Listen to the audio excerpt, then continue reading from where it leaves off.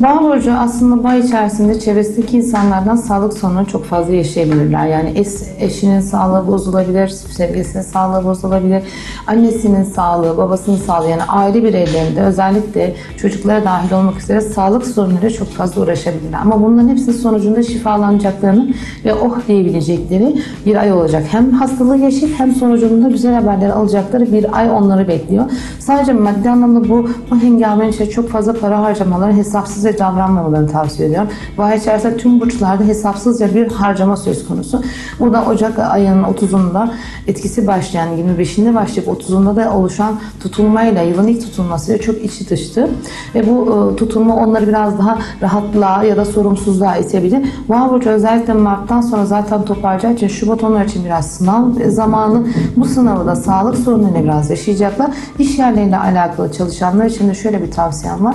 Kariyerlerine tutunmak zorundalar. Üstlerine tartışma ve sorun yaşayabilirler.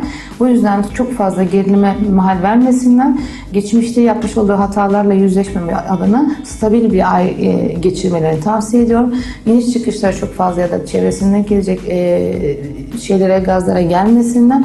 Bu ay içinde sabit kalırlarsa Mart ayında daha iyi bir ay onları bekliyor diyoruz.